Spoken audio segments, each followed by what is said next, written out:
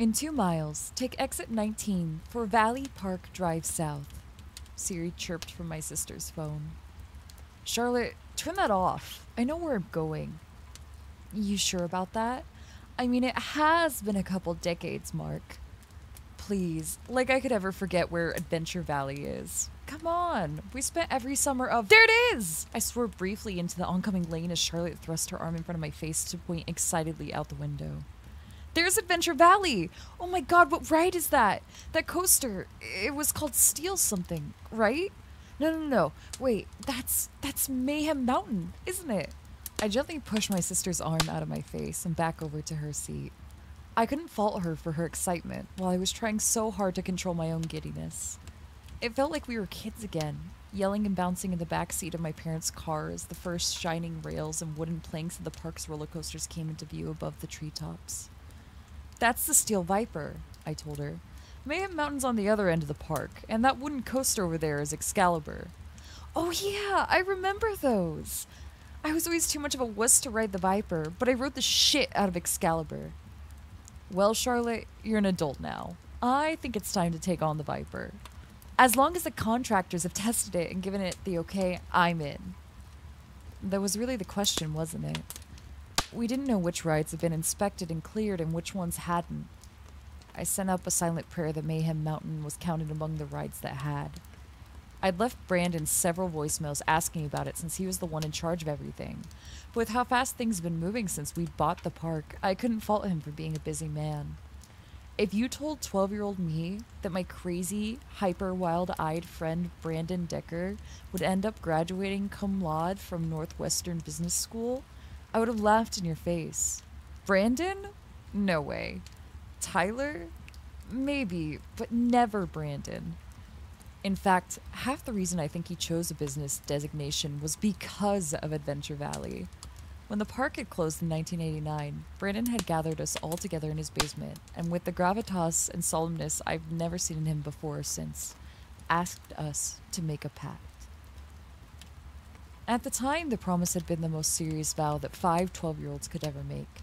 High off an entire summer of Adventure Valley fun, we agreed with all the ceremony of a meeting of parliament that we would one day come together and buy Adventure Valley Amusement Park. Of course, back then we'd just planned to buy it and ride the roller coasters into the ground. We decided which friends from school we would let in and which enemies would be barred from the gates. It had always been our park, and it was only right that we should have it. It had taken 20 years, but we eventually did fulfill our promise. With a hell of a lot of pushing from Brandon and a sizable offer of collateral from Tyler, the bank had agreed to give us the multi million dollar loan to buy, repair, refurbish, and reopen the park. The size of the loan that the six of us were responsible for gave me nightmares for several weeks. How would this place ever turn a profit?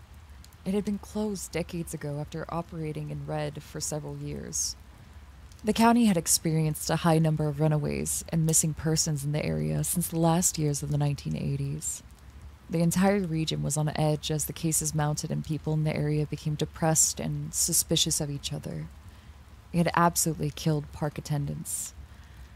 But seeing the first cresting waves of roller coaster rails through the trees made me all but forget about my financial worries.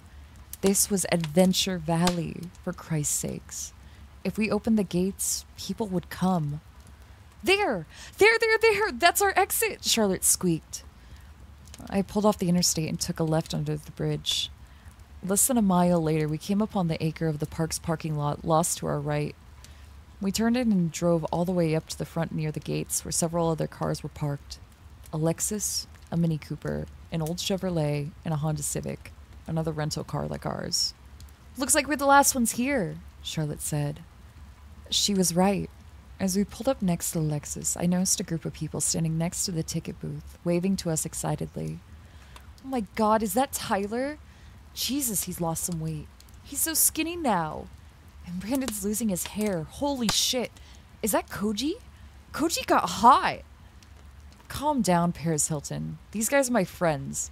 They're off limits to you. Same rules as when we were teenagers.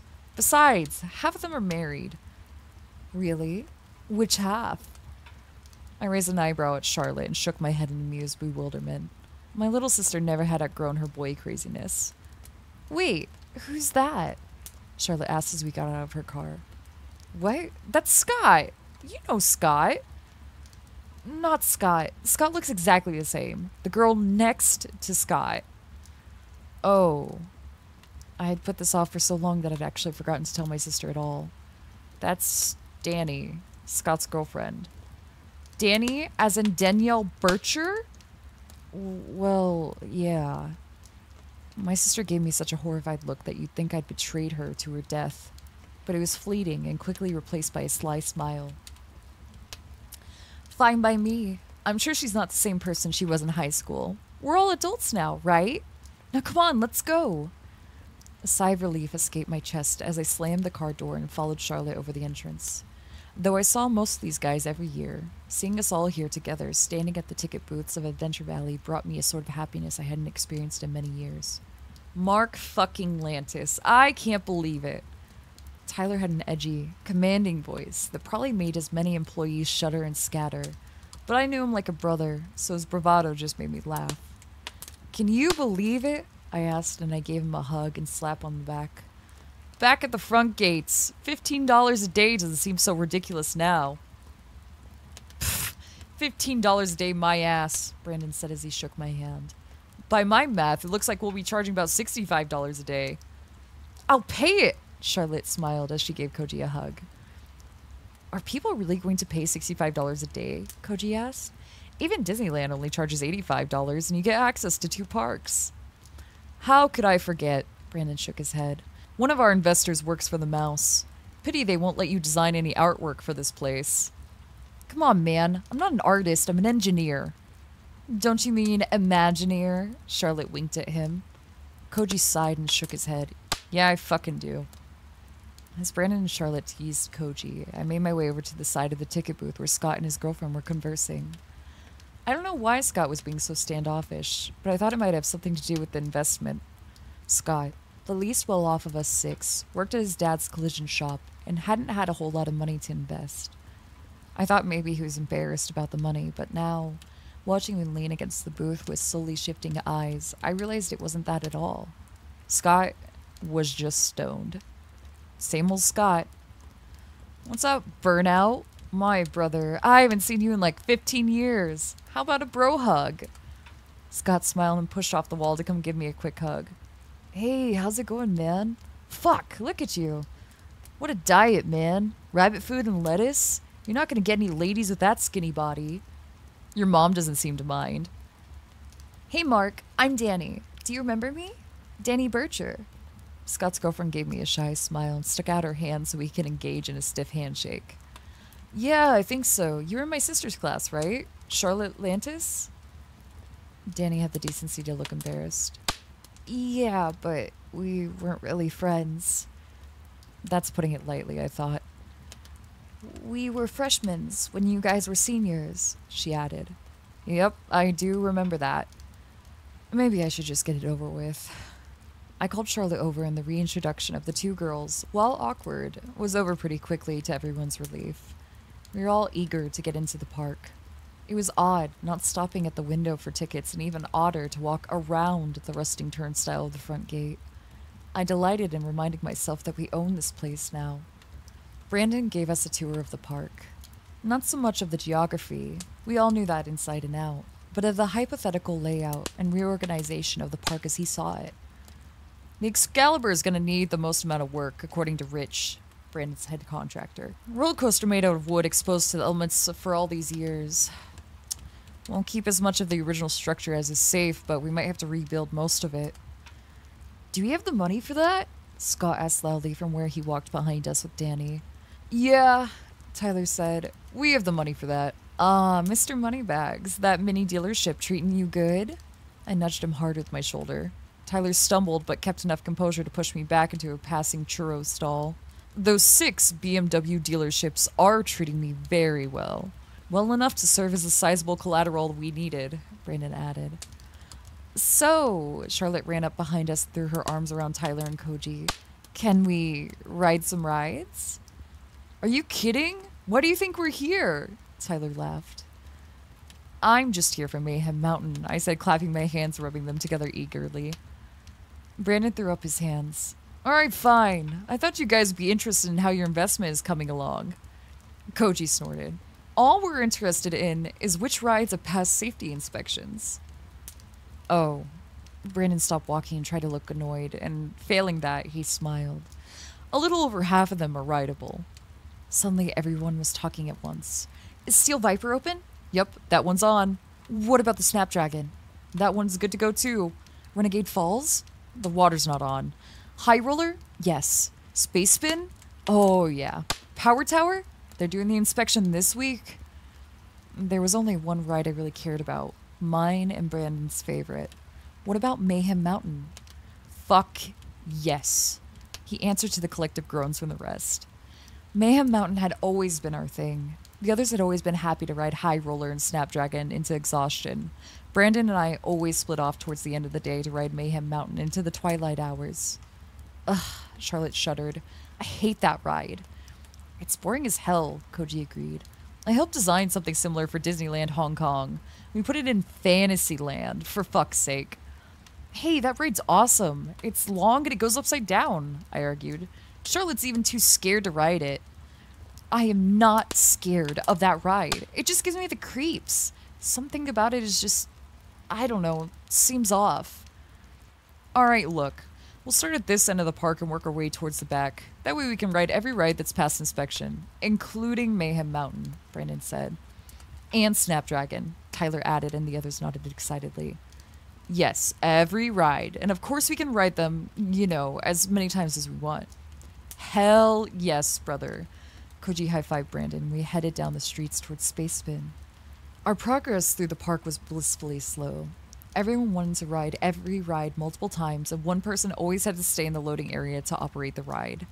It only took an hour or two to forget that I was a fully grown 35 year old man. Being back here, running through the line ways with my friends, arguing who got the first row of the front car, it was like being 12 years old again. Still, my eyes were constantly drawn up over the buildings into the distance, to the back of the park, where the high, gleaming rails of Mayhem Mountain shined in the unobscured sun. There would be no arguing who got the front row on that coaster. It was me and Brandon. It was always me and Brandon. Charlotte, Tyler, and Koji were the most like children, constantly running ahead and arguing over which ride to get on next, yelling back to ask Brandon if this one or that one had been cleared by the contractors. Brandon and I held back from the group a bit, discussing ideas and possible improvements for the park. Scott and Danny took up the rear of the group, quietly talking and lighting joints. When we arrived at Enterprise, a simple ride that consisted on spinning cars on a circular track, I offered to flip the switch while the rest of the group rode to excess, the Enterprise always made me sick when we were kids. Brandon offered to stay on the platform with me to chat while everyone else rode the ride. I flipped the switch to turn the ride on, and as the car spun away from the loading area, the Enterprise's signage came into view. I sighed. All day I had been trying to ignore the bright graffiti sprayed all over the park, but the words painted over the signage for the Enterprise were impossible to ignore. Where did the missing kids go? And the rest of the graffiti in the park was much the same. Most said things like, Where are they? Runaway Row. Find Ryan Kinski. And The missing are now dead. Similar sayings could be found in town sprayed across a few dilapidated buildings in the industrial district. Brandon's eyes avoided the sign, but I could tell he was thinking about it too. Do you think the reason they shut this park down? I mean, do you see that being an issue for park attendance? I asked as casually as I could. Brandon was quiet for a few moments as he waited for the ride to slow down into a stop so he could flip the switch again. Nah, I don't think so. Low attendance issues aren't actually what shut the park down. They aren't? This surprised me. Nope. When we were negotiating the sale of the park, I was given access to the park's financials in the 80s. So they weren't operating at a loss? Oh, they were, but this park has operated in the red since opening day in the 70s. Half their revenue was being fed back into something called county services, whatever that is. The bank couldn't tell me, and believe me, I tried to find out. County services, I mused. Yup, bizarre. And according to the paperwork, the park was closed because the owner didn't want to live here anymore. And he couldn't be bothered to wait for a decent offer on the property, so he just sold it to the bank for next to nothing. So he was a rich guy. I leaned back against the railing to stretch my back. And an idiot. Yes, to an extreme of both cases. The owner of the park was Abel Bisset. Abel Bisset? Related to that French billionaire, I'm guessing. Brandon nodded. Michael Bisset. He built this park for his son in the 70s. Abel's never really what we would call business inclined. I've always heard him described as simple. I can't believe the son of a billionaire lives in this area. Well, not anymore. He moved on decades ago. I shook my head in disbelief. Who would have ever thought that our simple little park was owned by a famous billionaire's son? Hell, I may have even sat next to him on rides and had no idea. You guys want to go again? Brendan yelled to the others as the ride again came to a stop. I'm ready to move on, Koji yelled back. Anybody want to ride again? Nope, a chorus of voices replied. It was near five o'clock when we finally arrived at Mayhem Mountain. As the sun began to set, a familiar panic and urgency welled in the pit of my stomach. It took a moment for me to realize that we didn't have to leave when the park closed this time. Because the park didn't close. We could stay until sunup if we wanted to. As I eagerly approached the turnstile for Mayhem Mountain, Tyler spoke up behind me. Listen, can we run into town and grab something to eat before we ride Mayhem? You really want to ride Mayhem after we eat? asked Koji. Uh, good point. There's only one loop. Danny rolled her eyes. Two, I said. Don't forget the inline roll. Yup, two, Scott answered. Plus, it's a two minute ride. If your food isn't sitting well, you've got a long wait till it's over. Look, I said, let's ride it a couple times and then go eat. When we come back, we'll see how we feel. Everyone nodded and we started walking through the lineways up to the platform. When we reached the loading dock, I was excited to see our favorite green cars sitting on the track. Front seat! Brandon and I yelled simultaneously as the train cars came into view, and everyone behind us groaned. I'm staying here, Charlotte said. I'll just work the launch pad thingy. Still scared after all these years, Char? Scott teased her. Shut up, Burnout. Scott laughed and tousled her hair before running and jumping into the first car behind Brandon and I. Danny got in next to him, and then Tyler and Koji took the second car. We pulled the shoulder restraints down and they locked into place. Ready? Charlotte asked. Yup, Brandon yelled back. Send the car through. Charlotte pulled the lever and the brakes disengaged. As the car moved forward, I turned to Brandon. Did we get in the green car on purpose? I yelled to him as the coaster clacked around the load platform and began the clattery climb up the first lift hill. Yup, we sent the cars through here all morning, but I made sure Rich knew to leave the green machine in the loading bay. Awesome. As the train climbed up the lift hill, I made no attempt to hide my utter glee. I looked out over the expansive park and couldn't believe it was mine. Every track, every car, every turnstile, every screw, from the front gate to the overflow parking lot in the back, it was all ours. How I wished I could go back in time and tell a young me waiting in the two hour line for Mayhem Mountain, one day you will own this place. As we crested the hill and the train fell into the first drop, I realized I essentially had gone back in time. At least, I was screaming like a 12 year old, as was everyone else behind me. We dipped into the first tester hill and then banked hard and up to the second lift hill. We dropped down from there, down into a vertical loop, banked around a set of gift ships, up briefly, and then down a small hill into an inline roll. When we arrived back at the loading bay, we were all screaming and whooping. Charlotte didn't even have to ask, just smiled at us and set us through again. We went through twice more before we finally got off the ride. Koji walked over to check out the control panel while the rest of us taunted my sister. You sure you don't want to go, Char? It's awesome. Nah, I'm good. I have no problem being the carny for this ride, she laughed. Come on, Charlotte, just one time. One time and we'll leave you alone, Tyler urged. No, no, no. No way. Not interested. I'll write anything else, though. Hey, do you guys know what track B is? Koji asked. Track B? What do you mean? Brandon walked over to Koji at the control board and raised an eyebrow. That's weird. It's probably just the track they used to get the cars into storage bay.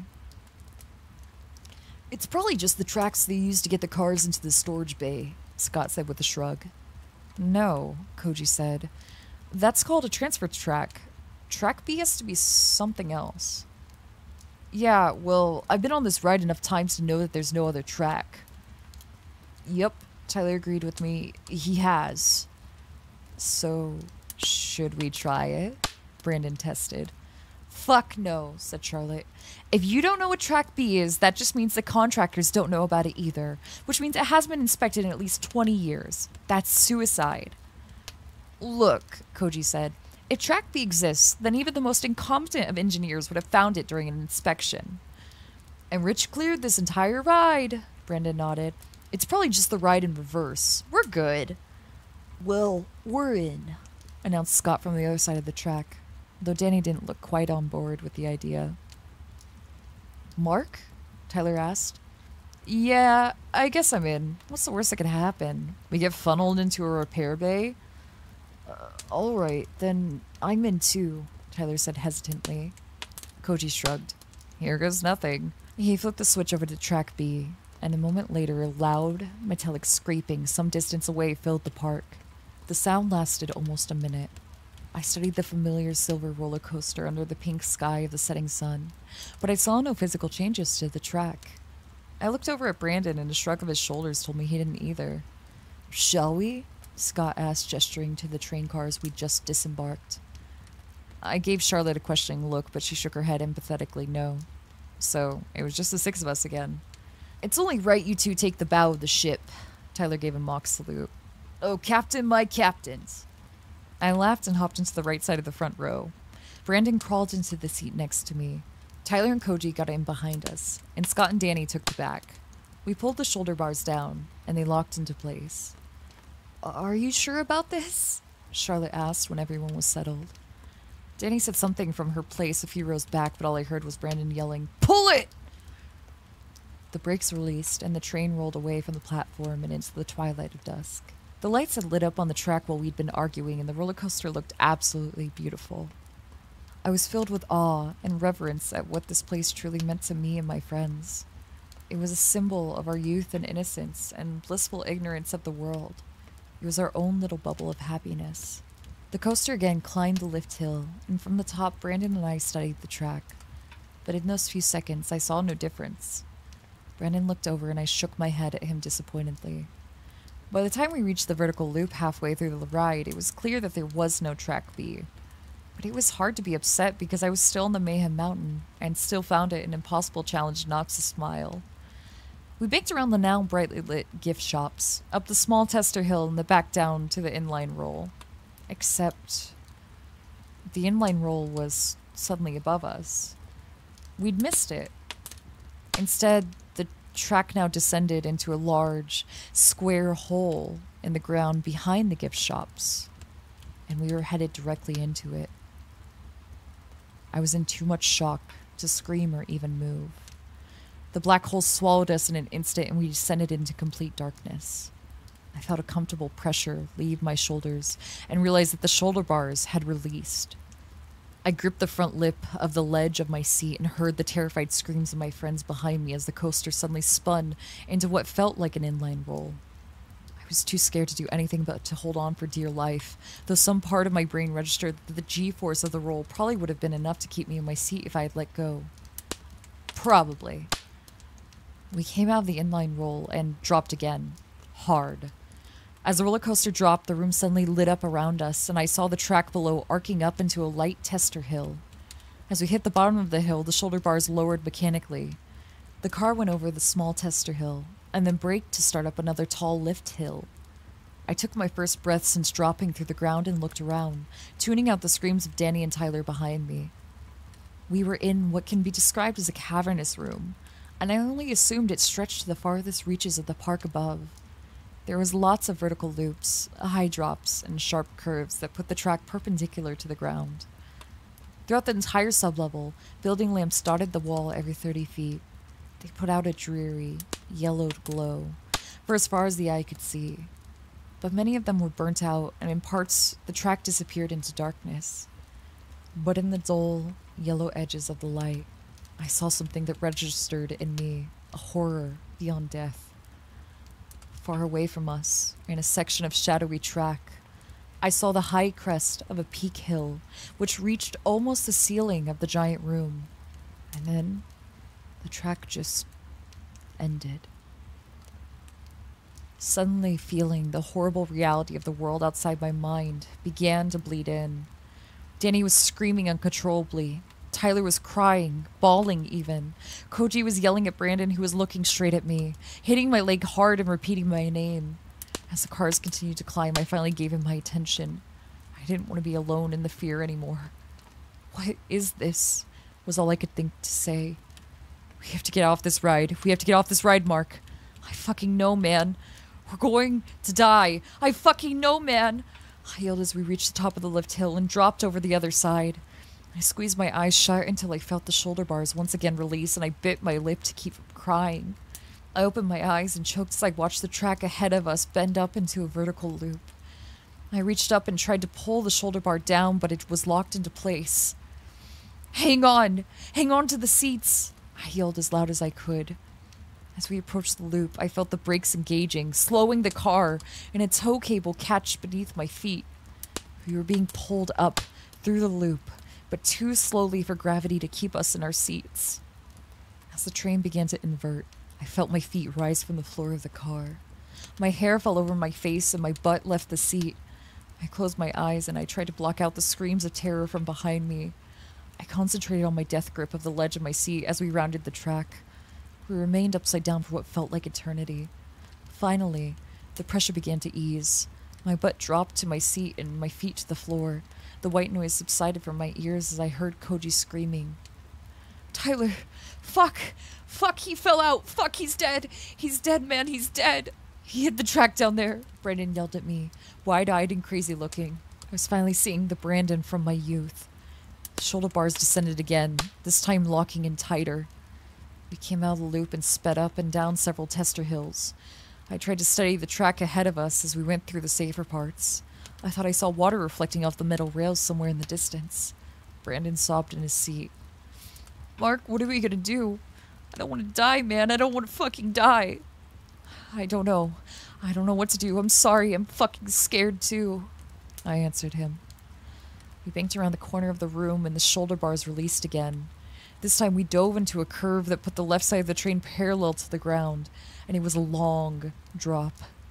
I gripped the edge of the seat tightly as before, but this time I kept my eyes open and was able to catch Brandon as he began to slip out of his seat. By the time the train righted itself, I couldn't tell who'd been lost. Most of the screaming behind me had turned to loud sobbing or silence. The shoulder bar didn't re engage, and I felt the car's brakes slow the train down again. It was another inverted loop. This one was tall and large, and I could tell we'd be upside down for longer. Someone behind me began screaming again. Danny, I think, as I tried to take measured breaths and position my hurting hands back under the lip of my seat. Brandon did the same and looked over at me as the car started up the loop with tears streaming down his face. I don't want to die in here, man. I shook my head back at him because I couldn't think of anything to say. I felt tears leave my own eyes as we reached the tipping point of the loop, and my feet again left the floor. Before we were even completely upside down, I felt my back begin to slip down the seat. Thought if I lost my grip, I could try to grab for the shoulder bars when I fell out of the car. The car suddenly stopped, and I opened my eyes to see we were completely inverted. I grunted loudly at the pain and immense effort it was taking to keep my grip on the seat. The car started to move again slowly, and I heard Brandon say something to me. I looked over at him just before he slid out of the car. One second, he was there, next to me. And the next, he was falling, falling away from the car. I saw Brandon try to grab onto the shoulder bars on the way out, but he couldn't keep his grip on it.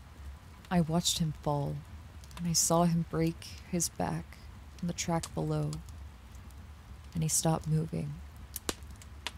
I stared down at him as the car continued to move slowly around the loop, and he stared back up at me, dead or dying, By the time the car hit him on the way out of the loop, he was completely gone. The shoulder bars re engaged, and we went through a dreadfully long period where nothing happened. We were secured in our seat by the restraints as the coaster spent what felt like several minutes racing over hills, banks, curves, even an inline roll. Without the adrenaline pumping through my veins, I felt the shock begin to wear off. It was replaced by panic and fear unlike anything I'd ever experienced. And I decided that was the point of this section of the track to build and facilitate an unbearable fear. I felt the brakes engage finally, and I looked ahead to find the loop we were surely entering, but there was none. We were high, almost to the top of the ceiling, and we slowed to a stop on the straightway. Directly ahead was a drop at the bottom of a hill, a series of four different tracks with the transfer stack just before they split off.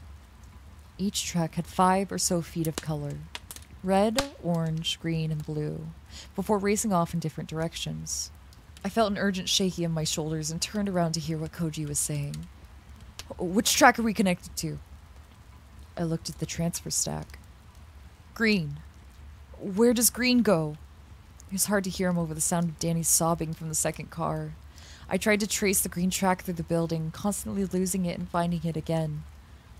I wasn't sure, but it seemed to end at the lift hill I'd seen earlier. The hill with no track at the top. It ends at the hill, I yelled back at him and pointed. Danny cried louder. Fuck. When we were stopped, I rubbed my hurting hands together. As I looked down at them, I noticed something new in the car. At some point, a small, blinking panel had flipped over in the wall at the front of the car. It had four colored buttons and an old analog timer. The timer was so old and damaged that though the numbers were clearly changing, I couldn't see how long we had. We get to choose. I said and explained what I was looking at. Can you see which track ends where? Koji asked. I followed all the tracks as best I could, but the rails circled and slid in between each other. It was hard to tell which track went where. I think the blue track ends in the big pool in the corner. The red track ends in a wall, and the orange one just drops into a hole in the floor, like the one we came down through here. I, I think. There's no way out, dude, said Scott from the second car. His voice was unsettlingly calm. They're just telling us how we're going to die. We, we, we can still find a way out of this, I answered quietly, more to myself than him. Choose the pool, Scott said, and I could hear the tears in his voice. I, I've heard drowning isn't an awful death. I've heard it's calming at the end. No, choose the hole in the floor, said Koji. It's possible it drops down into another cavern like this. There might be more track, which means more time to figure out how to live. You don't think we'd be the first to choose that option, do you? Scott asked him. And no one that went missing ever came back. There's just more death in that hole. I don't want to die like this, Koji begged. And at least it's a chance. Danny was still whimpering in the back and offered no suggestion. It seemed the decision was up to me, and I had to make it fast. I knew I didn't want to die by dropping off the track. I didn't want to drown. Perhaps the quickest death was the wall. More than likely, we'd all be killed instantly. Less suffering, less time to think about our fates. But the truth was, I wasn't entirely positive which track ended where. It was all educated guesswork, and my time was up. The orange, let's go down to the second floor, if there is one. Scott and Danny said nothing, and Koji choked out the last words I'd ever hear him say. Push it, before it chooses for us. Before I could think about it any longer, I pushed the orange button and committed us to whatever death it led to. We heard the metallic scraping of the track transferring below. Once the orange track was securely connected, the brakes on the cars released and the train rolled slowly towards the drop. Danny started screaming again. As we dropped down the hill, I got a better view of the orange track. There was a vertical loop ahead that didn't look as high as the others we'd been through. In fact, it looked like there was a chance the fall wouldn't kill us if it wasn't an optical illusion, and if the shoulder bars disengaged for that loop, we might have a shot living through this. I yelled back to everyone behind me. Let yourself fall over the loop, the one up there. No one responded to me, which didn't matter because I don't think I'd have the courage to let go of the seat anyway. We raced along the track, in and out the banks and curves. At one point, we passed along the pool, and I looked down. Below the water surface, the track ended above an even deeper pool. I could see the shadows of several coaster cars in it at the very bottom. I suddenly felt the brakes engage, and I realized we were coming up to the loop. I tested the shoulder bar by pushing up on it, but it stayed locked. I was somewhat relieved in that moment to know I wouldn't have to make the decision to fall out now or gamble on the orange track. But suddenly, the restraints released. As we started up the loop, I gripped the lip of my seat tightly and turned my head back to look down. It looked like we were very high, and I only hoped the ground was loosely packed dirt that it looked like. I had to choose now the fall or the hole. I choose the fall. As I began to slip up the seat, I yelled at the others to let go and fall out of the car. And then I closed my eyes and let go. I felt my head crack the shoulder bar on the way out. It wasn't like a slow motion fall. It was over before I realized that I'd actually let go. One moment, I felt an intense pain as my head hit the bar, and in the same moment, I realized I was on the ground. I hadn't even had time to realize the possibility of hitting the track below or get run over by the car. I opened my eyes in time to watch the car speed over the track above me. The pain didn't hit me all at once. I had one long, blissful second before I felt it. And then I was in agony. I'd hoped my body was so in shock that I wouldn't feel much of the pain, but I felt it all. I concentrated on keeping my eyes open and trying to catalog the damage. There was blood on my clothes, but I didn't know what part of my body it was coming from. I heard screaming as well, but I didn't know if it was in my head or coming from my friends as they approached the end. I didn't want to move, didn't think it was safe to move, but I knew that I had to. If only to pull out my phone. With trembling fingers, I pulled the thing from my pocket and brought it to my face, trying to focus on the screen, but it was shattered and refused to even turn on. I threw it away from me and then I realized the silence.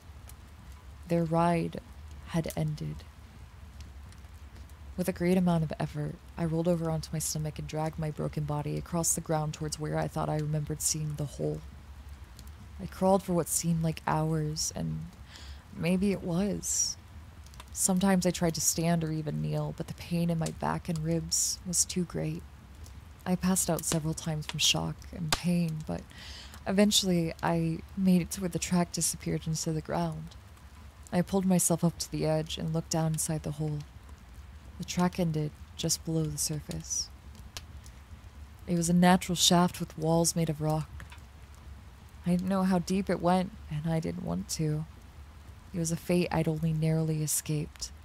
But then I thought my friends were down there, and maybe someone survived. Koji? My voice echoed loudly down the shaft. No answer. Scott? Nothing. I reached for a nearby screw and dropped it down the hole. It took half a minute to land, and when it did, it was a tink as it hit something metal. The small sound echoed up the shaft and out into the cavernous room, and I realized this place was built with acoustics in mind. I rolled over onto my back and studied everything I could see from where I was, staving off my body's desire to pass out again. I felt nothing but numbness when I finally saw what I was looking for a long, panoramic window in the far wall. I knew what track B was for, and I finally let myself slip away into the darkness. I remember very little of my rescue. There were a lot of people in uniforms, and my sister yelling in pain. Lots of pain. I was in and out on the way to the hospital, but I remember I passed through the room behind the window at some point, and from my stretcher, through the chaos, I saw in that room a single chair facing the window. It was covered in a deep layer of dust. I was never visited by anyone official, let alone asked to give a statement. Charlotte stayed by my side at the hospital for months while I recovered. She wouldn't say much about the day, although she finally did tell me something. She said that they wouldn't let her ride with me to the hospital, and that someone offered her a ride. On that drive, she'd been spoken to by two people that had convinced her to never speak of what had happened, and to convince me of the same. Whatever they threatened her with had her begging me to agree, and I did, at the time. I'm still, to this day, learning to walk without aid. I never saw Mayhem Mountain again. The loan defaulted and Adventure Valley was bought up by some unknown LLC, which bulldozed it and built a block of apartments over the top. They're still empty to this day. I don't like the dark anymore. It reminds me of the horror my friends experienced as they looked down and saw the track end before they disappeared into that hole. I try not to think of what they must have felt as they fell down the shaft in complete darkness, strapped to a roller coaster, waiting for the terrible end. I wish I'd chosen the pool, if only to save them from that fate. As for the billionaire's son, he was only simple in the fact that he was a man of simple taste, and he still is.